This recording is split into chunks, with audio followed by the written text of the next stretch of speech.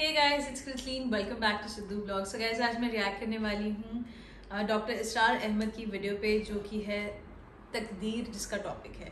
To check the original link ये दो हमारे हैंडल्स हैं. To follow us let's go guys तो मैंने आपसे बताया कि कद्र जो है एक तो इसी से लफ्ज़ कुदरत बना है। और नंबर दो इसी से किसी शय की कदर और कीमत और फिर इसी के मानी है अंदाज़ा मुकर करना किसी शय का अंदाज़ा ये कद्र अल्लाह ने हर चीज़ का एक अंदाज़ा मुकर कर दिया है। और कद्र मकादीर मिशकात शरीफ में एक पूरा बाब है ईमान बिलकद्र का मान है सही मान। तो पहली हदीस क्या है? मुस्लिम शरीफ की रिवायत है। अब्दुल्ला इब्न अम्र इब्न आस रज़ी अल्लाह तआला अन्हुमा।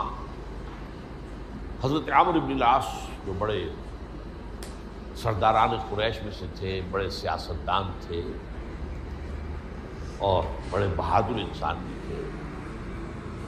उनके बेटे हैं अब्दुल्ला। और बड़ी दिलचस्पी की बात यह है कि बाप और बेटे के मिजाज में बोदुल मशरक है। क्या? वो थे जंगजू और सियासतदान और बड़े सरदारों में से। ये थे इंतहाई जाहिद और आबिद। इंतहाई जाहिद और आबिद। इन्हीं के बारे में आता है पूरी पूरी रात खड़े रहते थे नवाफिल। और हर रोज रोजा रखते थे जिस पर हजूर रोजा क्यों कहना चाहिए कि डांट बुलाया आपको इतना हुई। हम्म, आपने बुलाया? या अब्दुल्ला हम्म, अवलम उखबर हम्म, अन्न का तकूम तकूम लैल व तसूम नहार तसूम क्या मुझे ये खबर नहीं दी गई है? हम्म, यानी मुझे ये खबर मिली है कि तुम पूरी रात खड़े रहते हो नमाज़ पढ़ते हो तुम हर रोज हो। हम्म, अब क्या करते बड़ा यार झूठ बोलने का तो यार है ही नहीं वो भी नहीं सकता। फरमाया ला तफअल। हम्म, सख्ती से वो अब्दुल्ला इब्न अम्र इब्न आस रज़ी अल्लाह तआला अन्हुमा इसके रावी हैं। क़ाल क़ाल रसूलुल्लाह सल्लल्लाहु अलैहि वसल्लम। कतब अल्लाह मकादीर अल खलाइक क़ब्ल यखलुक समावात वल अर्द में 50 अल्फ सना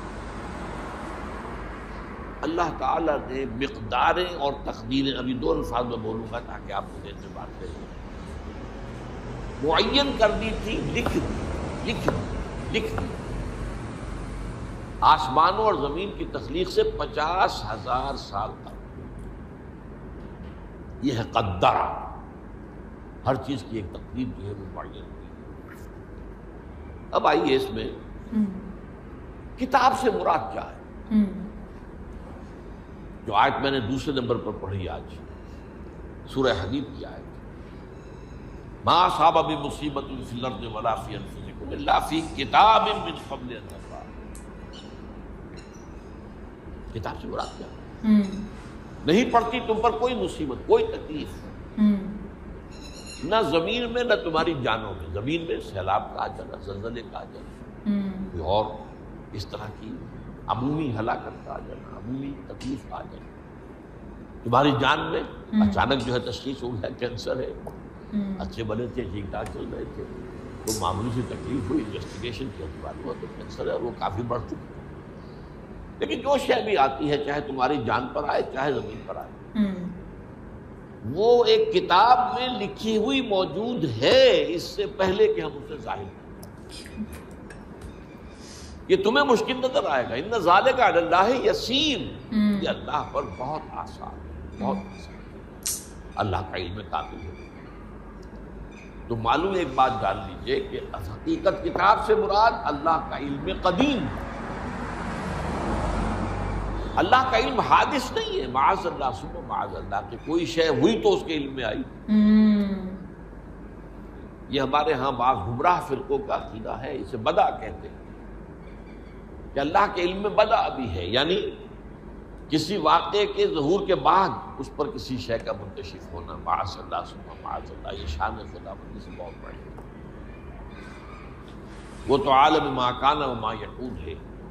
जो भी कुछ था और रहा है आज तक हमेशा से है और जो भी कुछ होगा वो सब उसके इल्म में आने वाहिद में है, आने वाहिद। ये आने वाहिद के लफ्ज़ को अच्छी तरह समझ लें मुझे सबसे पहले तजर्बा हुआ था ये सन। मेरा ख्याल है कि सड़सठ अड़सठ की बात है। अच्छा। मैंने पहला हवाई सफ़र किया था लाहौर से कराची। ओके। उस वक्त फोकर चलता था फोकर फैक्ट्री छोटा जहाज़। इंडिया वाला हम्म, और किराया नब्बे रुपए था नाइट कोच आइए आप तक समझ तो मैं चूँकि मुझे जोग्राफी से दिलचस्पी है और फोकर ज़्यादा ऊँचा नहीं होता तो मैं देखता जा रहा था खिड़की से इस वक्त हम कहाँ पहुँच गए अब कहाँ पहुँच गए। हम्म, अब जो रोशनियाँ नज़र आ रही हैं किस शहर की हम्म, ये उकाड़े की आ गई ये साहिवाल की आ गई आगे और आ गई हम्म, एकदम मैंने देखा कि तीन शहरों की रोशनियाँ मैं एक वक्त देख रहा हूँ।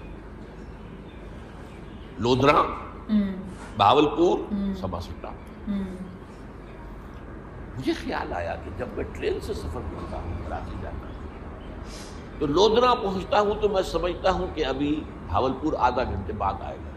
वो मुस्तकबिल की शहर है मेरी। हम्म, भावलपुर पहुँचता हूँ तो लोधरा मेरे लिए माजी की बात बन जाती है। आधे घंटे पहले लोधरा आया था। हम्म, और आधे घंटे के बाद जो है समसट्टा आएगा।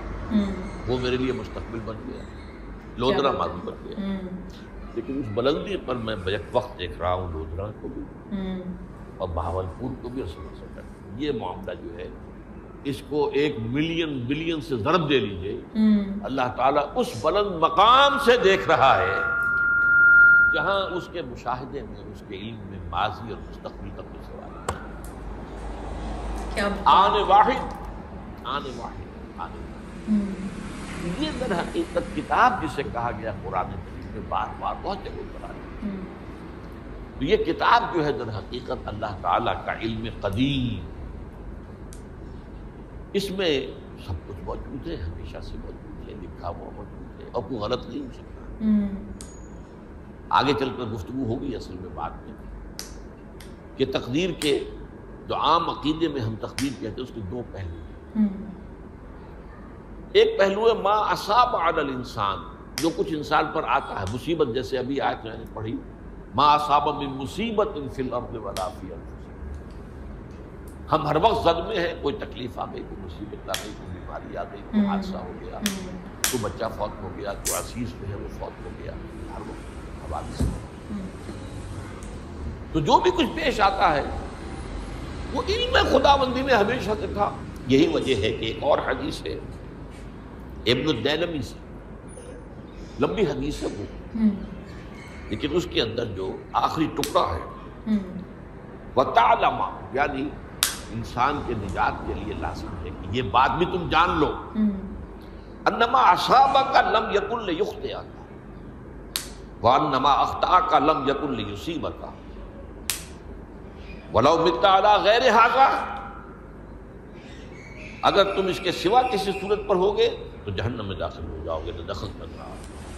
ये जान लो कि जो चीज़ तुम पर आई वो आनी ही आनी थी। देखिए होता क्या है?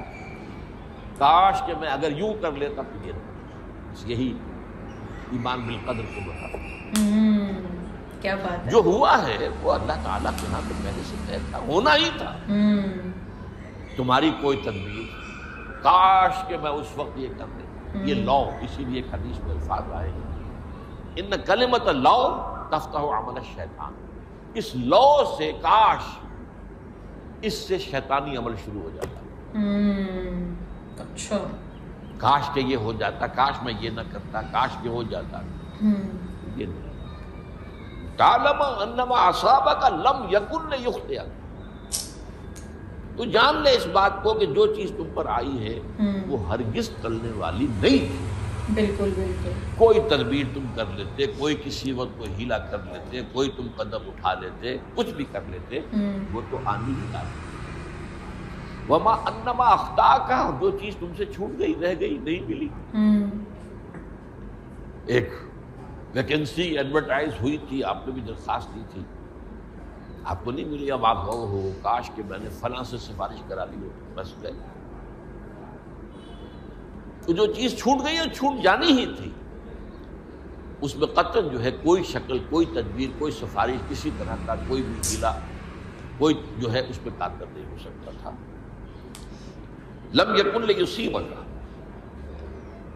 वबिता अला गैर का अगर तू इसके सिवा किसी कैफियत पर तेरी मौत वाकई हो। अगर यह यकीन नहीं है यह है तकदीर का वो मफहूम कि जिसका ताल्लुक है अलामा असाबल इंसान। जो इंसान के ऊपर वालिद हो रहा है उसके जमन में तकदीर का मफहूम क्या है? तो जो हुआ है वो तो होना हम्म। इसमें तो किसी शक व शुबे नहीं हो जाए बिल्कुल अल्लाह ताला का फैसला। अलबत् हकीकत, एक दूसरा पहलू है। मा यफालुल इंसान। वो जो इंसान करता है। यहाँ आकर ये तस्दीर का मसला पहुँच गया। आया मेरे अंदर कोई इख्तियार भी है कि नहीं? Do I have any free choice या हर शख्स पहले से तय है। गुड क्वेश्चन वेरी गुड का मफहूम ये है और इस मफहूम में बाज रिवायात भी है। जो hmm. तायद करती है हर चीज़ पहले से तय hmm. hmm. और ये जो हदीस हमने अभी पढ़ी है ये गोया कि उसकी एक मिसाल है। कि वो जो लिख दिया गया था फरिश्ते ने लिख दिया था रहम मादर में लिख दिया था शकीन और सईद ये बदबख्त है या शहादतमंद तो एक शख्स पूरी उम्र नेकी के काम करता रहा करता रहा करता रहा करता रहा। आखिरी वक्त में आकर तो ऐसा हादसा पेश आ गया कि वो अहले जहन्नम के से काम शुरू कर दिया और जहन्नम या एक एक शख्स सारी उम्र जो है जहन्नमियों के से काम करता रहा आखिरी वक्त में आकर कोई ऐसी तोफीक मिली कुछ ऐसा मामला हो गया तोबा कर ली और उसने जो है अहले जन्नत के से अमाल शुरू कर दिया। तो ये जो है अलामा सबक का अलहदा बात है और अलामा यफ़ानुल इंसान इंसान क्या करता है इसमें इसकी कुदरत है हम्म। और ये हमारे यहाँ फ़लसफ़े का बड़ा मुश्किल है इसका नाम है जबर कद्र। हमारे असलाफ में भी कुछ लोग ऐसे हैं मुतकलमीन में से। देखिए हमारे यहाँ एक वो लोग हैं कि जो इस पर कनात करते हैं कि जो अल्लाह ने कह दिया और नहीं कह दिया। इससे आगे हम मीन मेख नहीं निकालेंगे। हम्म। वो महफूज रास्ते पर लेकिन बहरहाल इंसान को अल्लाह ने एक अकल भी दी है। हम्म। और ये अकल सवालात उठाती है। और जो ज़्यादा जहीन इंसान होते हैं उनके अंदर ये उनकी ये मुसीबत ज़्यादा होती है। हम्म, लिहाजा वो तो सोचते हैं न कुछ गौर बात समझने की उसमें अब हमारे यहाँ दो तबके होंगे जबरिया कदरिया। एक नुकता नज़र यह है कि इंसान मजबूर महज। हम्म। कोई इख्तियार और एक यह है कि इंसान हाजिर मुतक है जो चाहता है अपने अपने फैसले में मुख्तार मुतक फैसला हम्म। इन्हें कदरिया के तो जबरिया और कदरिया इनकी बहसें हमारे यहाँ। ये वही तकदीर का मसला जो मैंने कहा था। बहसों में आकर वो लग जाए आज तक हल नहीं हुआ। हल हो सकता ही नहीं। अब इसके ज़िमन में मैं अल्लामा इकबाल पे एक शेर आपको सुनाता हूँ। हम्म, अच्छा। वो बहुत अच्छा लगता है बहुत खूबसूरत लगता है। शेर होने के एतबार से। तकदीर के पाबंद जमादात नबातात। हम्म। मोमिन सिर्फ़ अल्लाह के अहकाम का पाबंद था। हम्म। इसमें इंसान से पाबंदी की नफी कर दी गई।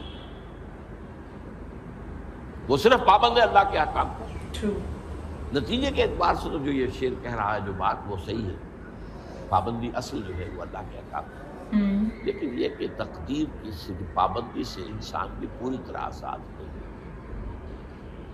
ये समझ लेना कि ये जमादात और नबातात ही का मामला ये बन है हम्म। ये मुबालगा ज़ाहिर बात है कि शायर जो है शायर मुबालगे से बच नहीं सकता चाहे वो अल्लाह इकबाल हो। कोई भी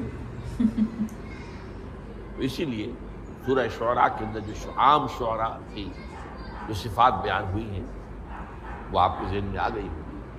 मुबालगा करते हैं। फ़ीकुल्ल वाद यही इन यकून माला या फालून वो कहते भी वो कुछ है जो करते नहीं हैं। और ये बात तो अल्लाह इकबाल पर भी चश्मा होती है बहरहाल ये शेर ज़रा फिर नोट कीजिए। हम्म।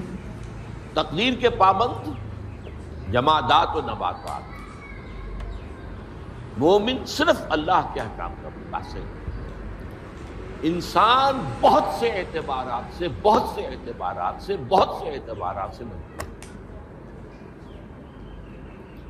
सबसे पहले जो है इंसान के अंदर एक तकदीर नौई है। नौ इंसान। छोटी सी चिड़िया उड़ती फिरती है। इंसान नहीं उड़ सकता। हम्म। आपने ठीक है मशीन ईजाद कर दी जहाज़ ईजाद कर दिया आप दौड़ रहे हैं पाँच पाँच सौ आदमी और हम्म। सैकड़ों मन सामान लेकर जो है वो जा रहा है सेवन फोर सेवन हो या सेवन फाइव सेवन हो कर लिया ठीक है खुद नहीं उड़ सकता हम्म। अब क्या करेंगे आप हम्म। ये तकदीर नौई स्पीशीज हर स्पीशीज के लिए अल्लाह ने एक अंदाज़ा मुकर किया उस अंदाजे ही में उससे बाहर नहीं जा सकता फिर एक तकदीर शख्सी है।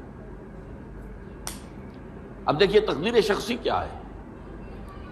बाज औसाफ सिफात हमें विरासतन मिलते हैं। वी हैव नो चॉइस पहले भी ये बात मानी जाती थी आज जो है जरा साइंटिफिक अंदाज में हम कहते हैं जीन्स जीन्स में चला आ रहा है। उस जीन्स को तो बदल सकता है। हम्म। जो जीन्स भी आपको मिले अपने वालदेन से हम्म। वो आपकी शख्सियत का ज़ाहिर बात है कि फैसला खुद तर्ज पर उस पर डाल देते जीत है पाबंदी नंबर दो ये कि खास तौर पर जो घर का इब्तदाई माहौल होता है माँ की गोद और इब्तदाई हमारा घर का उसके जो असरात मुरतसिम हो जाते हैं शख्सियत के। वो भी बड़े मुस्तकिल पुख्ता इन दोनों चीज़ों को जरब दे दीजिए hereditary factors multiplied by environmental factors इससे मिलकर एक शय तैयार होती है जिसको कुरान कहता है शाकिला शाकिला अच्छा। कुल कुल्लु यामलो अला शाकिलते रब को मालम बिमन हुआ सूरह शाकिला किसे कहते हैं शाकिला? शक्ल देने वाली शय आपको लोहा ढालना है वो खास पुर्जा बनाना है उसका पहले सांचा बनाते हैं। हम्म। लोहे को पिघला के उसमें डालेंगे तो जैसा सांचा होगा वैसा ही लोहा जो है वो शक्ल तैयार करेंगे उससे शाकला करेंगे ये शाकला जो है। हर इंसान का उससे बाहर इंसान नहीं जा सकता। उसके अंदर अंदर स्ट्रगल होगी उसकी उसकी उसके अंदर अंदर उसकी जिद्दोजहद होगी। लेकिन इसका यह मतलब नहीं है कि उसका कोई फ्री चॉइस फ्री चॉइस है। हम्म, अच्छा। लेकिन वो फ्री चॉइस इन्हीं हदूद के अंदर काम करेगा। इससे बाहर इस बात को मुख्तलिफ़ अहादीस में हजूर ने बहुत खूबसूरती से बयान हम्म। एक हदीस बड़ी अहम है बड़ी हदीस अच्छा। अन्नासकल महादिन इंसानों की मिसाल में मादनियात कैसी है। अब सोने की मादनियात में से सोने की जो और है अब पता नहीं उर्दू में मुझे मालूम नहीं और का तर्जुमा क्या करते हैं आप लोग? हम्म। जानते हैं वो वो कच्ची धात जिससे को साफ़ कर देते हैं तो फिर वो धात जो है खाली शक्ल में सामने आ जाती है। सोने की ओर से सोना बनेगा। हम्म। चांदी की ओर से चांदी बनेगी सोना तो नहीं बन सकती। ट्रू जितना चाहे साफ़ कर।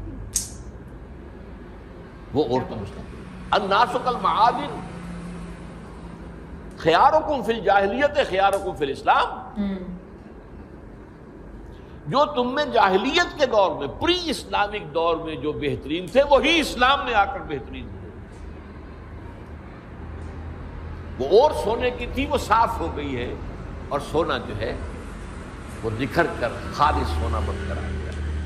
इस्लाम ने साफ़ कर दिया। हम्म। वो चांदी की ओर थी इस्लाम ने उसको साफ़ कर दिया। वो निखर कर चमकना हुआ जो है वो चांदी बन गई लेकिन ये कि इजाफा अलबत्ता इसमें एक इजाफा किया उन्होंने जबकि उनके अंदर दीन का फहम दाखिल हो तो ये कि जो बेहतरीन पहले थे वही बेहतरीन अब होंगे। अच्छा। इस्लाम लाने से पहले भी बेहतरीन अबू बकर थे, इस्लाम लाने के बाद भी बेहतरीन अबू बकर। हुजूर पर वही से पहले भी बेहतरीन खातून खदीजतुल कुबरा थी, ईमान लाने के बाद भी बेहतरीन खातून और दूसरी हदीस सुनिए अनबी दरदा रज़ी अल्लाह ताला काला बैनमा नहनो इंदा रसूल सल्लल्लाहु अलैहि वसल्लम। इसी हाथ में कि हम एक रोज हम हुजूर के पास थे, न तना करूँ मा यकून और हम तो सोच रहे थे क्या क्या कुछ पेश आने वाला है दुनिया में। इस काल रसूल वसल्लम जबकि हुजूर ने हमसे एक बात कही, बड़ी गौर से सुनिए। इजा समय तुम बेजबल अनजाला मकान ही फसद अगर तुम ये सुनो कि कोई पहाड़ अपनी जगह से टल गया तो मान लेना। हम्म। वैदा समय तुम रजुलिन तगैर खल ही फला संदकू हो और अगर तुम सुनो कि कोई शख्स जो है वो अपनी सरिश्त से अपनी जिबिल्लत से बदल गया what a powerful and life changing बयान इन डीड बहुत uh, अच्छी वीडियो थी। मुझे uh, काफ़ी चीज़ें समझ आई बट मुझे कुछ चीज़ें नहीं भी समझ आई to be very honest but mostly मुझे सार समझ आ गया इस बात का कि whatever our destiny is it is already been decided by God and एक मोल्ड है which consist of our environmental factors and our genetic factors and उसके बाहर हम नहीं जा सकते and everything has been pre decided बहुत अच्छी वीडियो थी एंड काफ़ी लाइफ चेंजिंग बयान था ये indeed by doctor Israr Ahmad so guys this is Sidhu blog signing off I love you guys